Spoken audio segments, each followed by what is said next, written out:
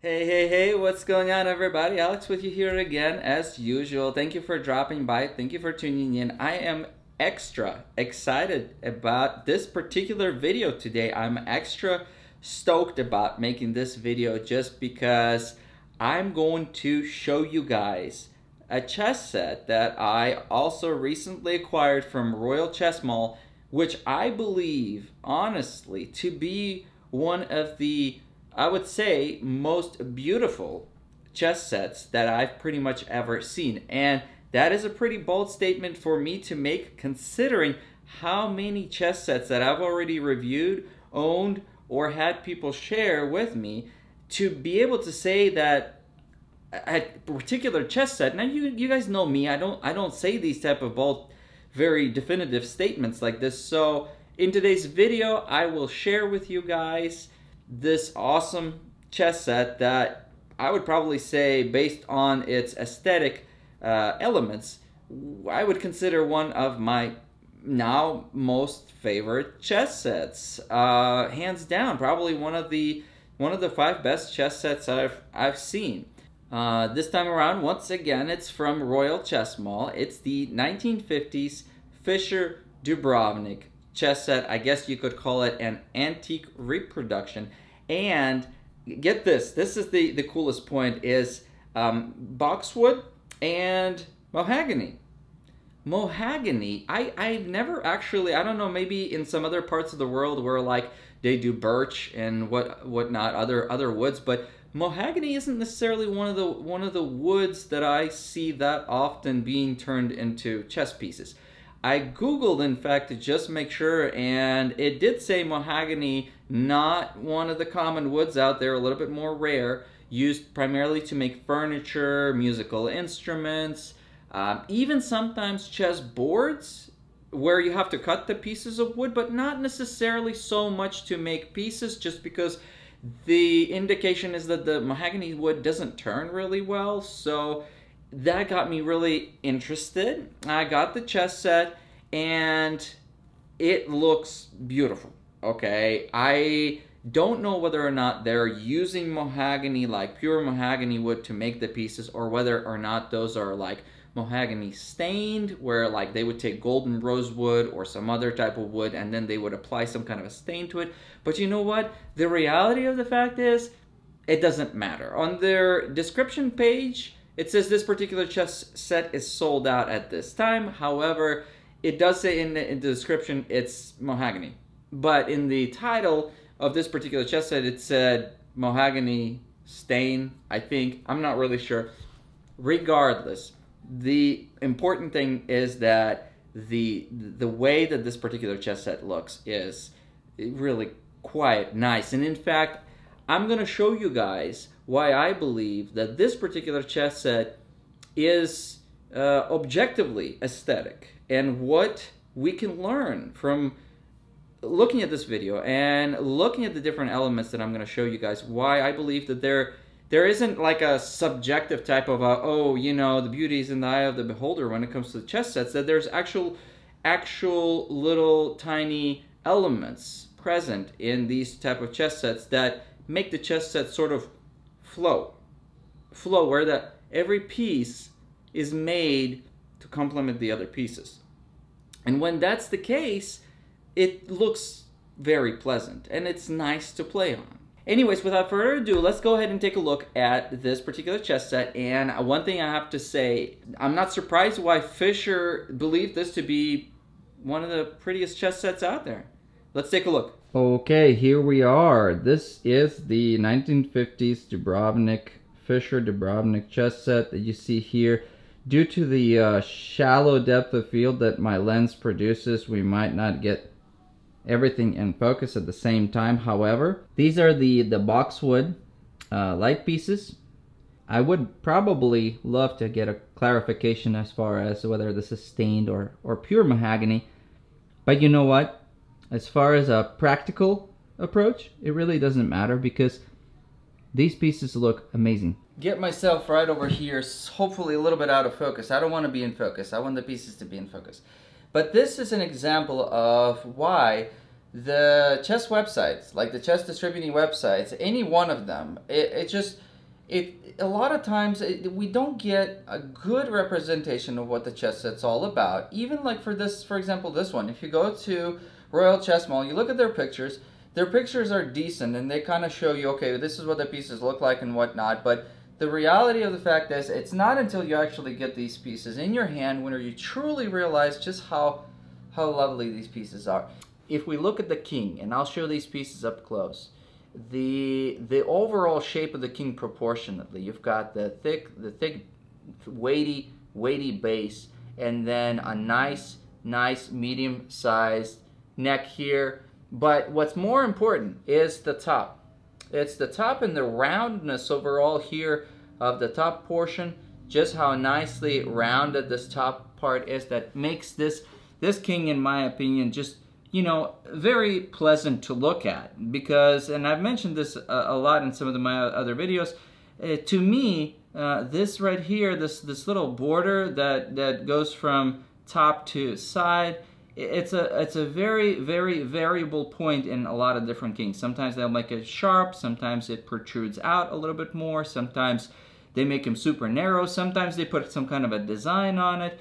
But in, in, in my opinion, having this nice little roundness here where it's not super round, but it's just round enough to, to, to seem pleasant, it, it's just, it hits the spot. You know, in my opinion, when I look at it, I feel like it, it, it does.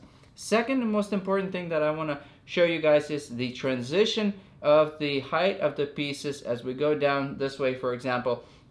We have a nice, almost, if we could measure this, we, I would probably say it follows a very good representation of what I feel like is the right dimensions of how chess pieces should be um, you have the king being tall, then we could almost draw a line all, all this way, and I know that the rook's probably a little bit out of the, of the image right here, but we could almost draw a, a straight line that would go from the the tallest piece to the shortest piece, and we could get a, a reasonable reasonable straight line. Um, the king here is 3.8 inches in height, and uh, like I said, this particular chess set's been made to replicate the original dimensions of the Dubrovnik chess set from the 1950s, and I, I, I overall think it, has been done really, really quite well.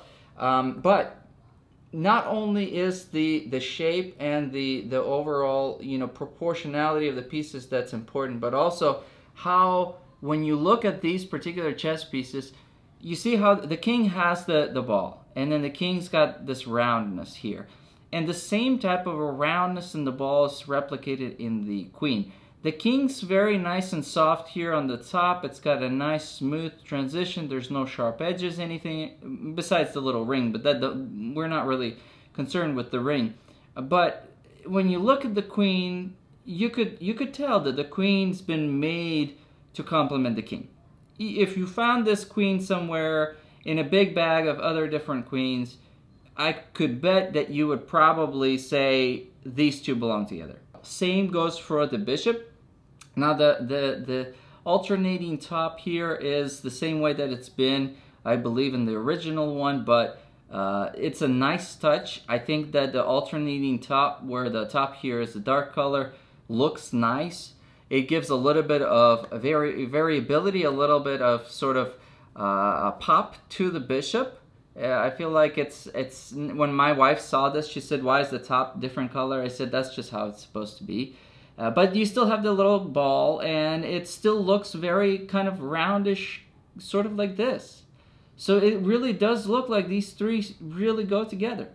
Uh, and then we have the um, the the knight. The knight's really quite nicely done. Um, just like the other knight of my Burnt Dubrovnik chess set, the head's sort of tucked in together with the body and it creates a sort of roundness to the whole chess piece. It, looking from the front here like this, it's got a very nice grip to it. It's very sort of uh, modest. It's, it doesn't protrude too much and yet it's for how it looks, it, it overall, I think it's it's a very aesthetic looking knight. Now we've seen a lot of different knights with a lot of different heads protruding straight horizontally, upward, downward, uh, all kinds of stuff. But but this sort of a, a, a, very conservative feel to where the head's together with the body, just overall looks nice. It I feel like it plays really nice too, just because the the grip you grip it. There's no there's no space in between the head and the body, so you can just grip it together. And it sort of overall makes it easy to play with this. Fast, slow games, what have you, it, it don't really matter. Also, because the head's together with the body here, if the knight falls, you're less likely to have, you know, the knight break off just because nothing's protruding anywhere. Even the mane here is just kind of together. Um, the rook is unusual looking, uh, very unusual compared to most of the other rooks that I've shown you guys in that the top here tapers inwards. It's not very big and it it looks like a tower, like a defense tower, but it looks less robust than some of the some of the other towers and um, once again I feel like it's because this sort of a curvature inward creates this this this tapered look that we're going for. The the the, the roundness of all the pieces they is sort of replicating this kind of cre- adds to the fact that they don't want to just make the the rook stand out and be sort of uh, horizontal and I mean vertical and like really sharp. They want to make this this kind of a, a, a, a roundness to it, and I feel like they've accomplished this pretty well. It it it's not one of the rooks that we usually see. Like it looks a little bit different, but at the same time, it looks nice because it goes together with the set very nicely. Let's take a closer look at these pieces. Look at the dark pieces. I mean, they are just gorgeous. Um, I don't know whether or not my camera is going to be able to really be able to reproduce the colors just the way that I wanted to reproduce. Technology is able to, to give us a lot nowadays, but unfortunately sometimes technology isn't as, as good. So I'm gonna try my best and I'm gonna show you guys. This this is the dark side. This is this is where it really shines in my opinion. Because look at these look at these pieces. Look at the color. Let, let me just start off by saying, look, look at this color. We've seen so many different dark and light pieces on this channel, and uh, we've seen different colors that look great and some colors that maybe not, but this is kind of like a dark brown color without any hint, without like minimal hint of red. It's kind of got almost like a, a purple uh, tint to it. I think that it's, as far as the dark colors go, whether or not this is stained, whether or not this is real genuine mahogany, whatever it may be, the way that this chess set looks, the way that the dark pieces look, is is gorgeous. I mean, I think they look really quite stunning in my opinion.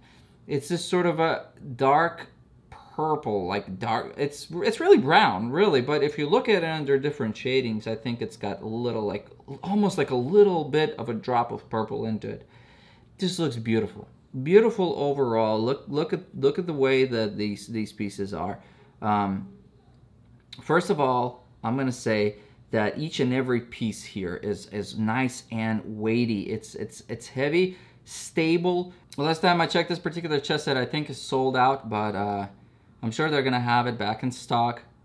The reason why some of these chess sets are sold out the way that they are is just that the, sometimes the demand isn't as high or like a chess distributing company may may you know they're all competing against each other in a way so whenever it comes for you know people buying certain chess sets uh, if there's not a lot of demand then they don't they don't make as many of them because you know why make thousands and thousands of one particular type of a chess set if, if you don't have as many orders? It's like when i go to this particular place that i like to eat at called CoreLife uh, it's a great little place to eat and it's really healthy food, but uh, they just did away with arugula. They had arugula. I asked them, like, arugula was the one that I would always order, and they said, well, it's because most of the people don't order arugula. Well, it sucks for me because I always order arugula, so. Okay, so those are the kings right here. Best way I could show you guys. Um, once again, kings looking really quite fine. I'm sitting by the window, and from time to time, you guys will notice that it'll either get like brighter or darker. So just having to deal with non-artificial light. That's just how life is. It's just that most of the other videos we see on YouTube, they tend to be like artificial light all over the place, even outside the window. If I wish, I could just like invite you guys over to my house, all of you, all of my subscribers, and just like show you this particular chess set, but it, it looks nice. It looks really nice. Here's a, in comparison, this is the uh, Burnt Dubrovnik. I think it's like Burn Dubrovnik aspired chess set. It's kind of following similar characteristics, and I think the height's very similar, as you could see. But the Burnt Dubrovnik's following completely different. Like, you got the ball on top. And then the, the top that secures the ball to the top, it's got it's almost as large as the, the, the ball itself. Whereas on this one here, you have the ball, but then the little base of the ball is, is a lot thinner. And then here, because because of the, the overall look, I mean, this, this looks really pretty in its own right. However, it's different. It looks different. This is where two kings of the same height could, could look very much so different. First of all, you could you could tell that the Burnt Dubrovnik chess set here is smaller, considerably smaller than this, this piece shape-wise. I mean, it's thinner here. It's got a smaller base, even though the base itself is about the same uh, diameter, but it's a smaller, it's a smaller king. Um, and then here on the top, uh, we see that because of the way that they made the, the top have these like little design characteristics, they could, I guess they couldn't do rounded. They didn't do rounded. This is very nice. It's very pretty. Here in comparison, we're gonna see a slightly smaller king. This is the uh, the Cooke. I think this is a 3.6 uh, inch Cooke chess set. This is a, one of the ones that I also really like, but in comparison, look the way that the, this top here is very sharp. It's got a more formal look to it. They made the rings round, but the top sharp. Whereas here, the, the rings are kind of sharp-ish, but, but the top is nice and round.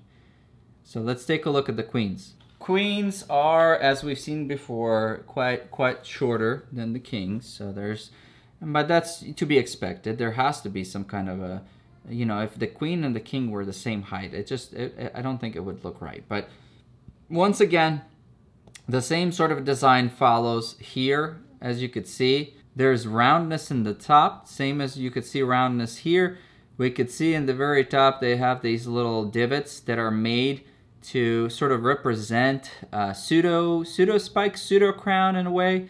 So I think that it, this is great that, that the they made these divots. Without the divots, probably would look a little bit plain, but the fact that the divots are there just makes it complete. I would not even ask for the spikes, honestly just because they, they look well. Like this queen just looks like nothing's really missing in my opinion. In comparison, um, let's put the queen from the, this is the queen from the Burnt Dubrovnik. We see considerably smaller queen in pretty much all dimensions, smaller size and everything, but kind of a similar pattern on top. We just have less of those little divots and they're kind of dispersed and made to have different divots like short, big, big holes, small ones, and finally in comparison this would be kind of a representation of what a lot of the other Staunton type of queens look like. We have nice uniform uh, spikes, sharp on top. You can feel they're sharp when you touch it. This is a nice, pretty queen, but just looks different overall. So that's, that's what this one looks like. Let's take a look at the other pieces. Bishops, as I've mentioned before, uh, the top here is actually kind of long and in, in comparison to the rest of the body, it almost, it almost looks long enough to be considered like almost halfway between. Now the halfway point, if you guys ever go decide to go to a website called Chess Empire, I think Chess Empire, and put in the Shkolnik, Shkolnik, I think student um, chess set. Their um, their bishops. This top portion is like almost smack in the middle. It's it's one of the one of the stark stark uh, examples of when when the top is like super huge, super elongated. But I think this looks really pretty. I wanted to get that Shkolnik chess set, but it was just it wasn't And maybe at some other point I'll get it, but um, you see no cuts through the top, just the ball. The balls are, you know, different colors. So the top here of the dark piece is supposed to be the same as this. So they're kind of complementing each other. And then in comparison, we do like see in this particular, the same Cooke chess set that we're comparing all the other pieces to. It's got a nice broad cut through the top. This this is this is I've mentioned this before. I like when the cut is nice and and and broad like this, and when it's sort of rounded at the bottom, makes it look really quite nice. Some people have mentioned that the they don't like the ball being cut, but I think that this looks really really nice. But these these bishops these bishops are, are really pretty looking.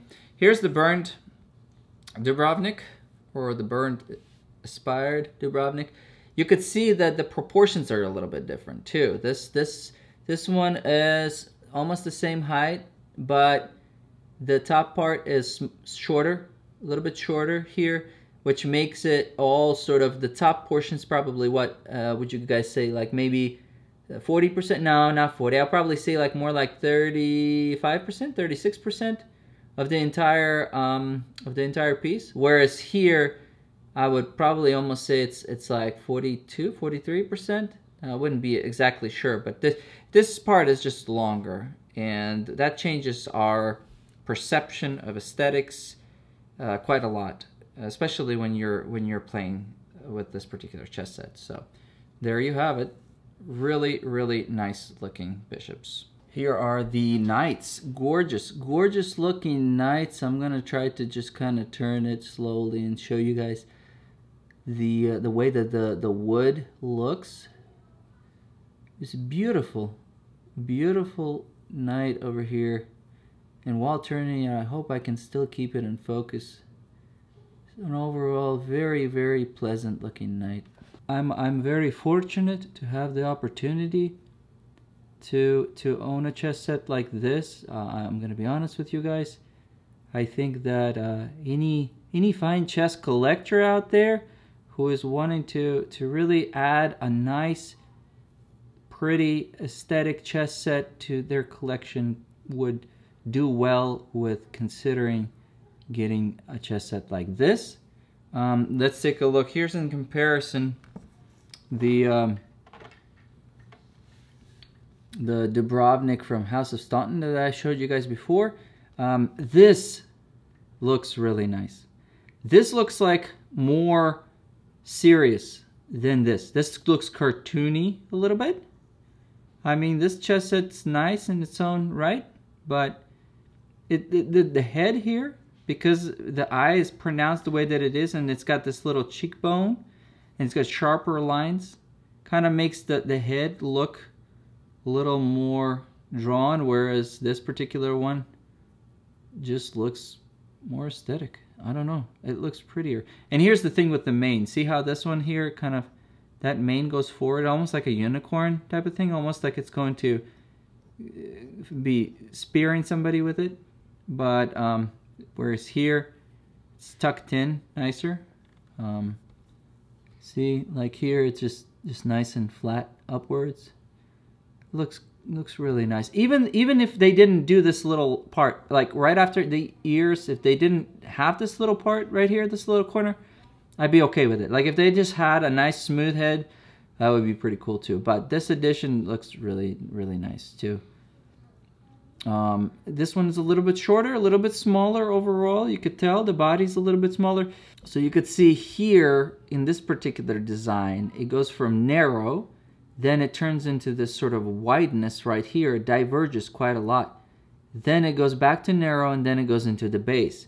If we look at this one, um, it's kind of following similar patterns. However, it, it, it, it doesn't diverge out as much. Because of the difference in tapering that we notice on two different chess pieces, it does give this particular knight more body. Uh, so here we see that even though the head is kind of similar in size, the amount of body that's been left here on this particular piece is smaller than this. And so the the dimensions and the proportion of the of the head to the body is much different here than it is on, on this particular chess set. Here we see as a comparison the uh, what would look like a, a normal Staunton-like uh, knight with, with a relatively typical type of a, a face and, and body. Um, very different, very different than the Dubrovniks, but we're not we're not comparing this because it's just this is completely different. Uh, but just for sort of, I guess, just for completion's sake, we want to take a look and see that all these knights share the commonality of having a base, obviously a head, a mane, ears, and a body. So at least that's similar. However, the head here is going to be a lot different. Um, in all three of them, in fact, the heads are, are quite different. Um, here we can see that the, the knight's showing a little bit of upper teeth. I don't think it's showing lower teeth. No, it's just an upper teeth and kind of a lower lip, mouth slightly open, nostrils present. Uh, whereas in this one, um, we don't see teeth. Um, neither do we see teeth in this one. It's, there's just a little line through the mouth. Um, we do have nostrils in this one. We do see have nostrils here. Uh, and here, just the, the way the nostrils are pointed a little bit differently. Here it's kind of a lot, a lot more down than the other ones. So there, there you have it. Really, really quite, uh, quite a, a, a variability in how the knights can look. Let's take a look at the other piece. These are the rooks, uh, kind of on the more unusual, unusual looking rooks, just because of the, the taperedness of the top. As you can see here, um, usually what we see in rooks is uh, kind of a very, very uniform feel to them. Uh, rooks don't change a whole lot, so being able to see rooks that are slightly different is also kind of exciting because, I don't know, rooks are all the same, but in this particular case, they're a little bit different. Um, you have five cuts on, on top. Um, four cuts will make a rook more uh, symmetrical, whereas five cuts gives the rook a more of a rounded appearance just because the cuts are oriented at like exact distances apart um, or close to it. Um, so you have kind of a round bottom, then you have the rings, then you have this top here that sort of converges, but but then at the top we have the the, the, the very top portion and it's trying to do the same thing as the other pieces. It's trying to, to create this sort of a, like if we extrapolate it to the top and, and and we didn't have this this flat cut here. If we if we had a top it would probably continue on to create like a, a more rounded feel to it. So I feel like that's why the rooks are the way they are. In comparison this is the rook from from the the other the Burnt Dubrovnik whereas all the other pieces from the the Burnt Dubrovnik were, were considerably smaller than this particular chess set the rook here is bigger. Um, a lot more straight, a lot more vertical, whereas this one is a lot more tapered. You can see right over here. Um, tops are also quite different. Um, it's got a deeper five cuts in top on both of them. Um, as I mentioned before, as far as rooks go, um, I've seen four cuts, I've seen five cuts. Usually it's either four or five. I have not, don't believe I've seen three. Here's the other rook, the rook to the Cooke chess set. Um, it kind of follows the same type of proportionality as this one, just a little bit smaller, and a smaller top overall, kind of different. Um, what is your guys' opinion as far as what, what type of shape of a rook you guys prefer? I mean, these do look unusual, but I feel like they fit with better with this particular chess set. So uh, this one here has six cuts. Finally, we got the pawns. Pawns are well, pawns are usual, just proportionately pretty much like many of the other pawns we've seen. Really nice broad basis, very stable, stable pawns overall. The felt on, on all the pieces, in fact, is nice and thick. Very good felt. Compare this to the Dubrovnik, Burnt Dubrovnik inspired chess set. You can see there's a lot more variability, a lot more curvature in the particular pawn that we see here. Curvature at the top, curvature throughout the entire piece. Here they're a lot more plain, which kind of makes them less distracting in, in my opinion. And then the pawn by comparison of the Cooke. The Cooke is about the same height, maybe even just a tad bit taller. For a smaller chess set, the pawns are a little tall, but then smaller base and smaller head. I would rather have a broader base for better stability and a slightly bigger head as far as, you know, maybe sacrifice a little bit of a height advantage of this particular pawn just to get a little bit of a better, stabler, more, you know, more stable pawn overall. Okay, so that's all the pieces up close. Well, there you have it, my friends. Like I said, I was super excited about making this video, but I had to kind of pause in between just because my memory card ran out of space. Anyways, I hope you guys found this particular chess set as exciting as I did. I feel like in pretty much all respects, proportion-wise, color, height, weight. I mean, th these this is a really nice set. A really nice set that's reasonably priced and um, I think that uh, from now on I would consider this particular chess set to be one of my five best chess sets. Um, what do you guys think?